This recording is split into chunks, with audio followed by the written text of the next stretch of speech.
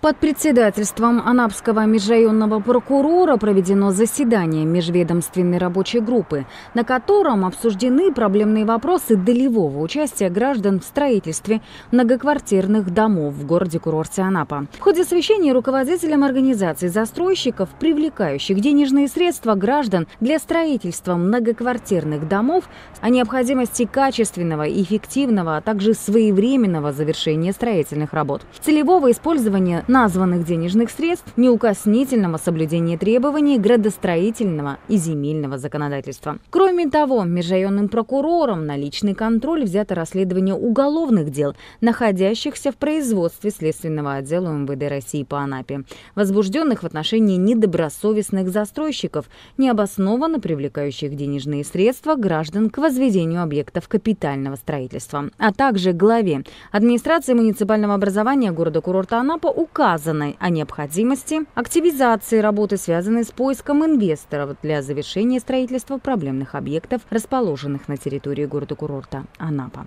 Олеся Давыдова, Виталий Кущ, 39 канал.